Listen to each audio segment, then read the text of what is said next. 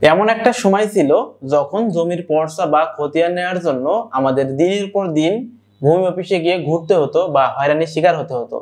কিন্তু বর্তমানে দু হাজার তেইশ সালে এসে বাংলাদেশের সরকার ভূমির সকল তথ্য অনলাইনে আপডেট করার ফলে এখন আমরা একশো টাকা দিয়ে জমির খতিয়ান বা পর্সা খুব সহজেই ডাউনলোড করতে পারি।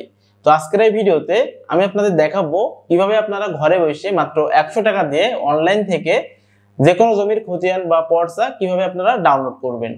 অনলাইন থেকে ই পর্সা বা খতিয়ান ডাউনলোড করার জন্য প্রথমে আপনার কম্পিউটার অথবা মোবাইলের যে কোনো একটি ব্রাউজার ওপেন করে সেই ব্রাউজারের সার্চ বারে আপনি map dot land dot gov dot BD লিখে সার্চ করবেন এবং স্মার্ট ভূমি নকশার প্রথম যে লিঙ্কটি আসবে, এই লিঙ্কে আপনারা ক্লিক করে দিবেন। তারপর আপনার সামনে ভূমি মন্ত্রণালয়ের যে ওয়েবসাইট রয়েছে, ওই ওয়েবসাইট থেকে কিন্তু আপনাদের ই পর্সা বা খতিয়ানটি ডাউনলোড করতে হবে। তো আপনি একটু স্ক্রল করে নিতে আসলে সার্চ মেনু রয়েছে, এখান থেকে আপনার প্রথমে বিভাগটি সিলেক্ট করতে হবে। বিভাগ সিলেক্ট করার পরে আপনার এখান থেকে আপনার জেলাটি সিলেক্ট করতে হবে। তারপরে আপনার উপজেলাটি সিলেক্ট করতে হবে এবং তারপরে আপনার কোন মৌজায় আপনার জমি রয়েছে, সেই মৌজাটি এখান থেকে আপনার সিলেক্ট করতে হবে।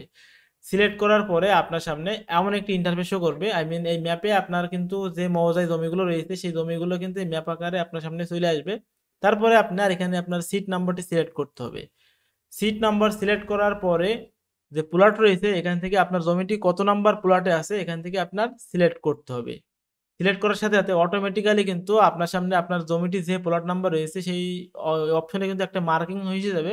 তারপরে আপনার যে নম্বরটি রয়েছে, এই নম্বরে আপনি মাউস দিয়ে যদি ক্লিক করেন, তাহলে কিন্তু এই জমির মালিককে সমস্ত কিছু কিন্তু আপনার সামনে বাংলায় এবং ইংলিশতে কিন্তু আপনার সামনে শো করবে। এখন আপনার এখান থেকে আপনার খতিয়ান বা ই পার্সাটি ডাউনলোড করার জন্য খতিয়ানের তথ্য বলে একটা অপশন রয়েছে, তার নিচে যে নাম্বারটি রয়েছে, এই নাম্বারে যদি আপনি ক্লিক করেন, তাহলে কিন্তু আপনার খতিয়ান নাম্বার দেখাবে এবং এই জমির মালিকের নামও দেখাবে। তারপরে দেখেন লেখা আছে আবেদনের লিঙ্ক তো আপনারা খতিয়ান বা ই পর্সা ডাউনলোড করার জন্য এই আবেদন লিঙ্কের উপরে ক্লিক করে দিবেন। ক্লিক করার পরে আপনার সামনে কিন্তু এমন একটি ইন্টারফেস শো করবে। তো এখানে আপনার প্রথমে একটি ভোটার আইডি কার্ডের নাম্বার দিতে হবে এবং একটি জন্ম তারিখ দিতে হবে। আই মিন যে ব্যক্তির ভোটার আইডি কার্ডের নাম্বারটি দেবেন, সেই ব্যক্তির জন্ম তারিখটি এখানে আপনাকে দিতে হবে। তারপর সেই ব্যক্তির ইংরেজি নামটি এখানে আপনাকে দিতে হবে। তারপর একটি ফোন নাম্বার দিতে হবে এবং একটি যোগফলের যে চিহ্ন রয়েছে, এখানে আপনার যোগফল দিতে হবে। তারপরে আপনার ঠিকানা, এখানে আপনার ঠিকানাটি দিতে হবে। তারপরে যাচাইকরণ যে একটি অপশন রয়েছে, এখানে আপনাকে ক্লিক করতে হবে। ক্লিক করার সাথে সাথে এখানে দেখেন লেখা আসছে যে সঠিক হয়েছে। আই মিন আপনার যাচাইটি কিন্তু সঠিক হয়েছে। তারপরে আপনার এখানে ওকে করে দিবেন। ওকে করার সাথে সাথে এখন আপনাদের যে অনলাইন ই পর্সা বা খতিয়ান রয়েছে, সেটা আপনি চাইলে এখান থেকে দুই দুই রকম ভাবে আপনি ডাউনলোড করতে পারবেন। একটা হচ্ছে অনলাইন কপি আর একটা আছে সার্টিফাই কপি তো আপনি যদি সার্টিফাই কপি নেন, তাহলে কিন্তু আপনি অফিস কাউন্টার বা ডাকযোগের মাধ্যমে নিতে হবে। তো আমি আজকে আপনাদের দেখাবো কীভাবে আপনারা অনলাইন কপিটি ডাউনলোড করবেন। তো জাস্ট আপনি অনলাইন কপির উপর ক্লিক করবেন। ক্লিক করার সাথে সাথে এখানে আপনার এখন টাকা প্রদান করতে হবে।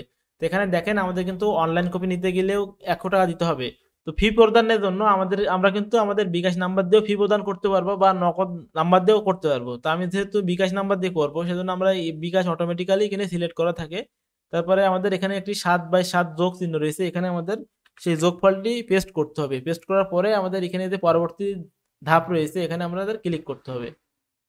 ক্লিক করার সাথে সাথে আমাদের সামনে কিন্তু এমন একটি ইন্টারফেস শো করবে।